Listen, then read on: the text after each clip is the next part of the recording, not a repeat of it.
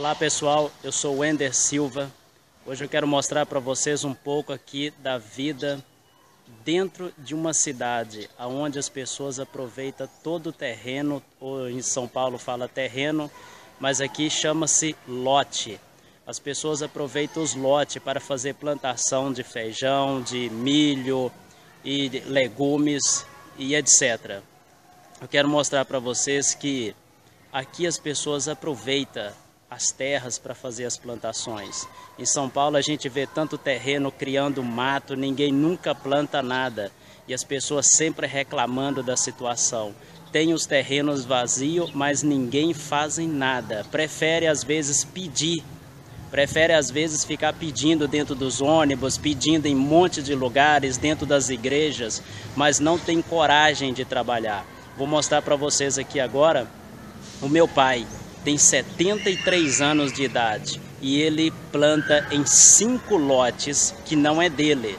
As pessoas oferecem para ele, para ele plantar, porque assim ele está cuidando do lote delas, fazendo as plantações. Vou mostrar para vocês a diferença de morar na cidade grande e desperdiçar os terrenos e a diferença de morar no interior e aproveitar.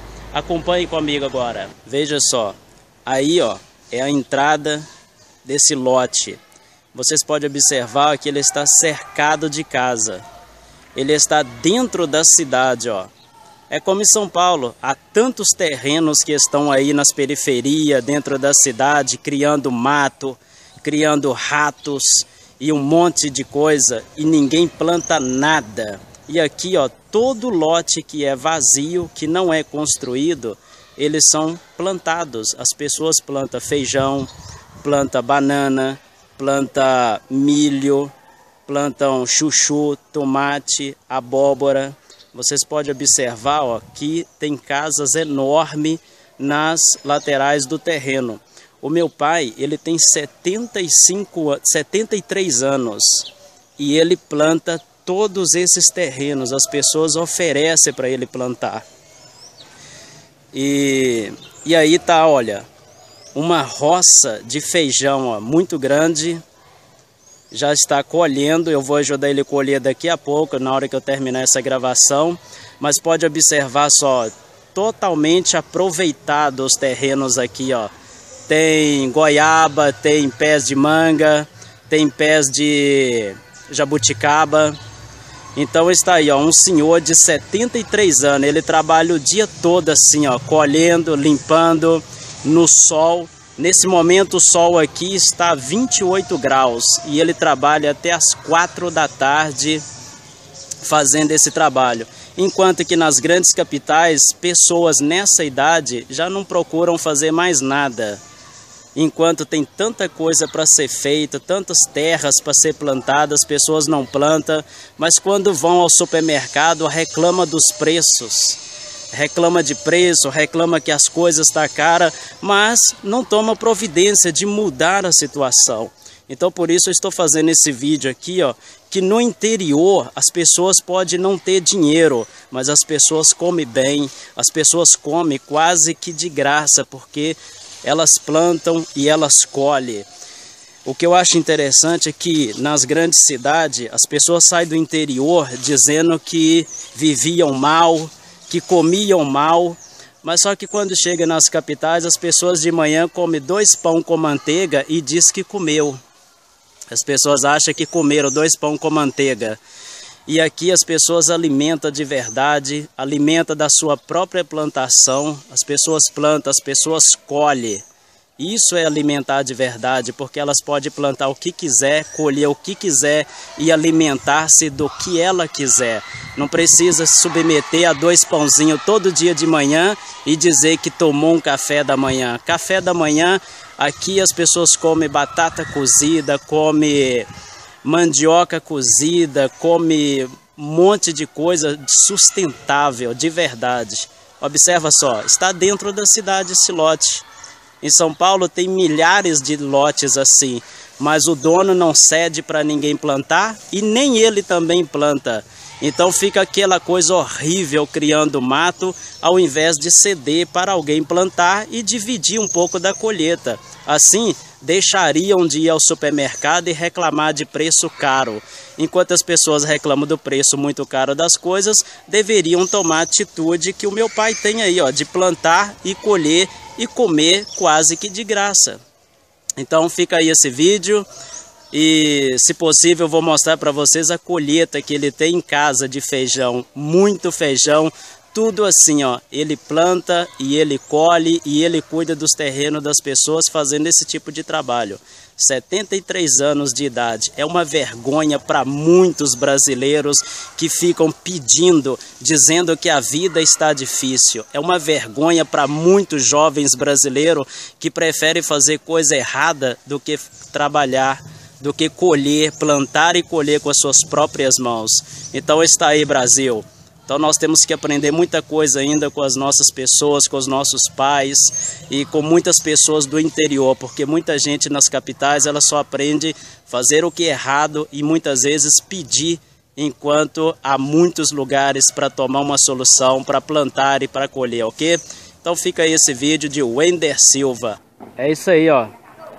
Acabei aqui de ajudar o meu pai tirar um pouco do feijão que estava maduro, que é essa parte limpa aí, ó. Depois que eu fiz o primeiro vídeo, eu parei de gravar e fui ajudar ele limpar aí um pouco, ó, do maduro. Pode ver que está em cima aí desse tronco no chão para secar no sol.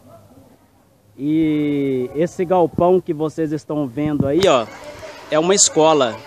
Pode ver que o terreno fica exatamente dentro de uma cidade, aqui ó, no centro da cidadezinha aqui, que tem uns 4 mil habitantes.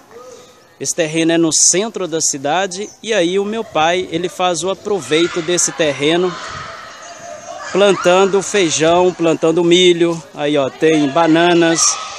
E aí está o terreno vazio aqui, ó, onde nós já colhemos o feijão que está maduro no ponto de ser colhido. Vocês podem observar aqui, ó, em cima desse tronco, está aí para secar agora. Ele vai secar no sol para depois é, batê-lo, ou seja, debulhá-lo para que ele fique o feijão na hora de ir para a panela. Então vocês podem observar aí, ó, 73 anos e é um exemplo de trabalho. 73 anos o meu pai trabalha plantando aí, limpando os lotes, cuidando dos lotes para as pessoas e com isso ele adquire várias qualidades de alimento.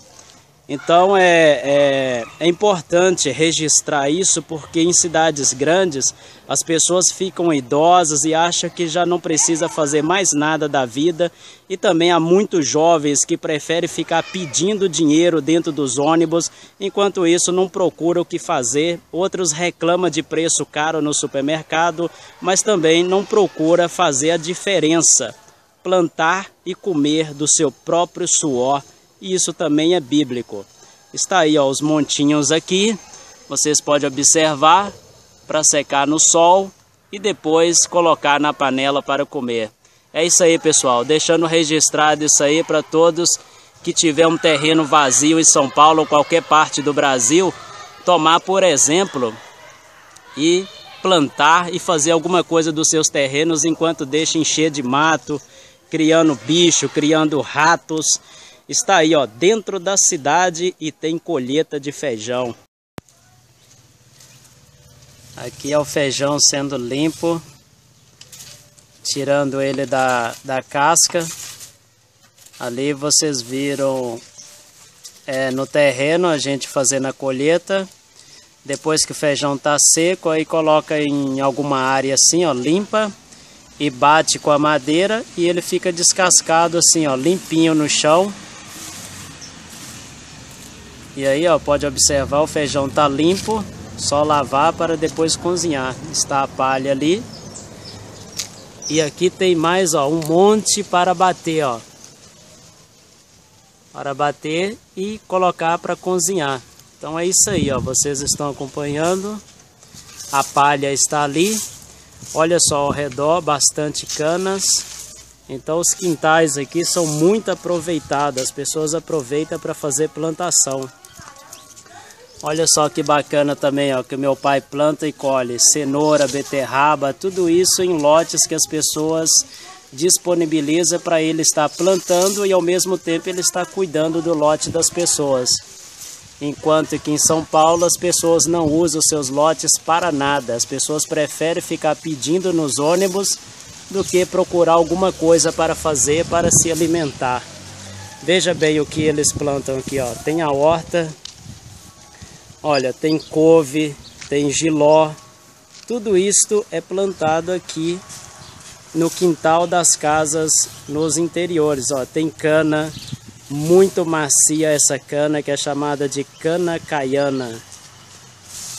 Tem boldo para fazer chá, tem acerola, aí ó, um pé de acerola. E aqui tem mais couve, Veja só, plantação de horta, tem couve, tem mais cana, tem cebola. Tá vendo só? Tem cebola, lá no fundo tem mais cana. Vou mostrar para vocês agora um curioso aqui.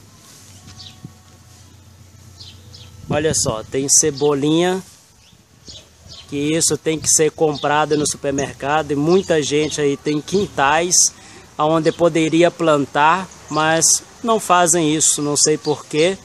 As pessoas só sabem reclamar dos preços das coisas no supermercado, mas elas não têm coragem de trabalhar, de fazer alguma coisa.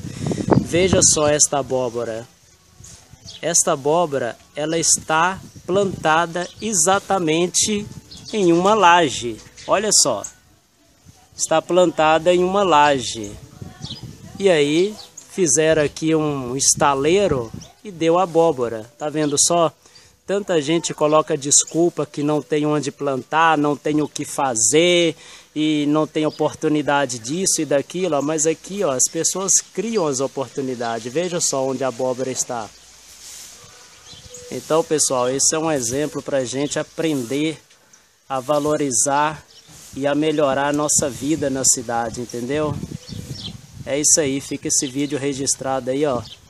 Para quem tem terra, para quem tem um lote, Faça alguma coisa, para de reclamar que as coisas estão caras no supermercado e planta você mesmo para você colher do suor do seu rosto. Bom pessoal, como prometido aí que eu disse que eu ia mostrar a colheita de feijão aí dos terrenos que o meu pai planta, que ele cuida e planta, está aqui ó. Aqui nesse saco aqui, ó, parece pouco, o saco é pequeno, mas nesse saco aí, ó, tem em média aí 20 quilos de feijão. E também tem esse aqui, ó, que eu acho que é o feijão carioquinha, que é outro modelo de feijão. Pode ver aí, ó, nesse saco aí tem em média 30 quilos. O saco parece pequenininho, mas é porque está no vídeo, mas levantando ele é pesado para levantar. E também tem esse aqui, ó, que é o mesmo feijão, mas como ele foi batido ontem, ele está bem novinho, então meu pai não mistura com o outro que já foi colhido alguns dias atrás. Então está aí, ó. E aqui é outro modelo de feijão também, é diferente do que vocês viram ali. E me parece que é fava, não é o feijão, é fava que também é colhido nos terrenos que ele toma conta. E aqui dentro dessa lata tem um outro modelo de feijão, que é um feijão vermelho, segundo meu pai, é para fazer feijão tropeiro. Talvez alguém aí conheça. Pode ver, ó, tem meia lata de 9 litros, essa lata estava cheia até alguns dias, mas como a gente vai consumindo, aí hoje só tem essa meia lata. E aqui, ó, vocês podem ver as garrafas cheias de feijão para ser plantado. Cada uma tem um modelo de feijão, tem o feijão carioquinha, esse vermelho que eu mostrei para vocês, que é esse aqui dessa garrafa. Tem, o, tem dois modelos de fava, tem uma fava maior e uma fava do caroço menor. Então está aqui para ser plantado. É como eu disse aí para vocês anteriormente, quem planta, colhe. Então, é, estou fazendo isso aqui porque muita gente diz que está passando fome nas grandes cidades, não tenho como comer, não tenho o que fazer, enquanto isso tem tantos terrenos aí é, tantos terrenos criando rato, criando barata, criando cobra, matos e ninguém faz nada.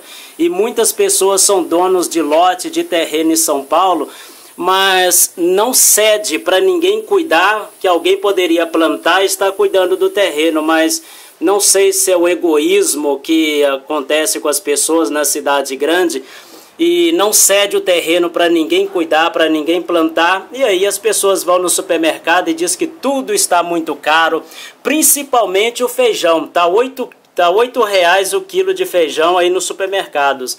E aqui o feijão sai praticamente de graça para o meu pai. Ó. Ele capina, ele cuida dos terrenos, ele planta e ele tem a colheita dele e divide um pouco com o dono do terreno, que isso é óbvio, se o rapaz dá a terra, ele também vai querer um pouco da colheita que sai da terra dele. Mas e aí é uma troca de favores, ó. Olha só que bacana, eu já mostrei nos vídeos anteriores, beterraba, cenoura, abóbora, cana, tudo isto é plantado e tudo isso é colhido e nada aqui dessas coisas ela sai comprada no supermercado, sabe por quê? Porque as pessoas aqui, elas procuram o que fazer, as pessoas nos interiores, elas plantam e elas colhem. Então fica esse exemplo aí para muita gente em São Paulo e em outras capitais do Brasil que dizem que estão passando fome porque não tem o que fazer, não tem onde plantar. Vocês viram ali uma abóbora que ela nasceu na laje. Ela foi plantada e está ali naquele concreto e deu uma abóbora enorme. E muita gente diz que não tem onde plantar e não tem como colher. E aí vocês podem observar que tem sim, ó. Quando a pessoa quer fazer a diferença, ela faz. Então, quem sabe alguém toma isso por exemplo aí, pode fazer a diferença dentro da sua casa, pedir o vizinho para limpar o quintal e fazer um plantio e comer desse plantio. Então, pessoal, fica a dica aí para vocês, ok? Até mais!